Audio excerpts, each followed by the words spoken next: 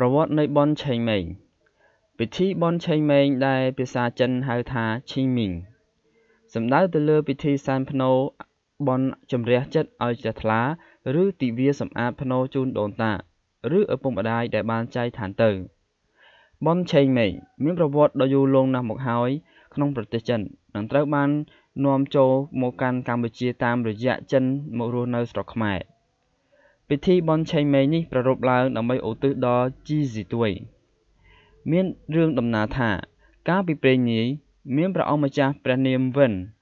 និងអ្នកបម្រើឈ្មោះជីងស៊ីទួយ បានរត់គេចពីសង្គ្រាមក៏វង្វេងចូលទៅក្នុងព្រៃដោយគ្មានអាហារសម្រាប់បរិភោគអស់ជាច្រើនថ្ងៃនិងបារម្ភខ្លាចចៅវាយខ្លួនឃ្លានជីស៊ីទួយក៏ជាសាច់ភ្លៅរបស់ខ្លួនធ្វើជាម្ហូប ព្រះអង្គម្ចាស់វិនសន្យានឹងផ្ដល់រង្វាន់ដល់ជីប៉ុន្តែជីមិនមែនជាមនុស្សលោភលន់នឹងឋានៈបនស័ក្តិឡើយអ្វីដែលគាត់ចង់បាន គឺចង់ឲ្យព្រះអង្គម្ចាស់វិនវិលត្រឡប់ទៅកាន់ទឹកដីជីងវិញ ដើម្បីធ្វើជាស្ដេចនៅទីនោះជីស៊ីទួយបាននាំម្ដាយរបស់ខ្លួនទៅរស់នៅក្នុងព្រៃភ្នំ ពេលដឹងដូច្នោះព្រះអង្គវិនបានបញ្ជាឲ្យគេដុតព្រៃ ដែលជីស៊ីទួយសំងំលាក់ខ្លួន ក្នុងគោលបំណងឲ្យជីស៊ីទួយបង្ហាញខ្លួនវិញ តែអកុសលព្រៃនោះ បានឆេះសន្ធោសន្ធៅរហូតជីស៊ីទួយចេញមិនរួចក៏ស្លាប់ក្នុងភ្លុកភ្លើងនោះតែម្ដងព្រះអង្គម្ចាស់វិនមានបដិបដិសេរីយ៉ាងខ្លាំងចំពោះរឿងនោះក៏ចេញបញ្ជាហាមមិនឲ្យអ្នកភូមិប្រើប្រាស់ភ្លើង និងបរិភោគតែអាហារត្រជាក់ចំនួន3ថ្ងៃ ដើម្បីកាន់ទុកដល់វិញ្ញាណក្ខន្ធជី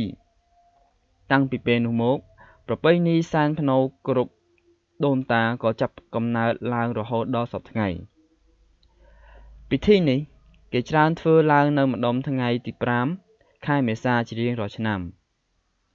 ហើយគេនិយមសែនទៅភ្នូអ្នកមានគុណដែលបានចែកឋានទៅ ក្នុងគោលបំណង3យ៉ាងគឺ ទី1បួងសួងសុំសេចក្តីសុខចម្រើន ទី2 សុំឲ្យកូនចៅរកស៊ីមានបាន ទី3សុំឡើងឋានៈបនស័កក្នុងពិធីសែនដំបូងគឺគេយកក្រដាសប្រក់ភ្នោយកដីរោយពីលើរួចស្រោចទឹក បន្ទាប់មកទៀតគេសែនម្ហូបអាហារទៅតាមលទ្ធភាពបើយោងតាមលោកគ្រូចាងហុងហុកឡុងហោរាសាស្ត្រទាយតាមក្បួនចិន ជនជាតិចិនមានវប្បធម៌គ្រួសារនិយមណាស់ដូច្នេះ ត្រកូលរបស់គេនីមួយៗគឺត្រូវបានលើកតម្កើង ពិសេសណូបុបរោះបុព្វបុរសដែលគ្រួសារម្នាក់ម្នាក់ស្លាប់ទៅ គឺត្រូវបានជ្រើសរើសទីតាំងល្អមានហុងស៊ុយសម្រាប់បញ្ចុះដោយមានជំនឿថា ដូនតារបស់គេនឹងជួយដល់កូនចៅរកស៊ីមានបានពិធីបុណ្យឆៃម៉េងគឺមានរយៈពេល15ថ្ងៃ គឺចាប់ពីថ្ងៃទី22ខែមីនារហូតដល់ថ្ងៃទី5ខែមេសា បាទអរគុណប្រិយមិត្តទាំងអស់គ្នាដែលបានចំណាយពេលស្ដាប់ហើយកុំភ្លេច click subscribe ដើម្បីបានវីដេអូពាក់ព័ន្ធនឹងឆេងម៉េងបន្តទៀតអរគុណបាយបាយ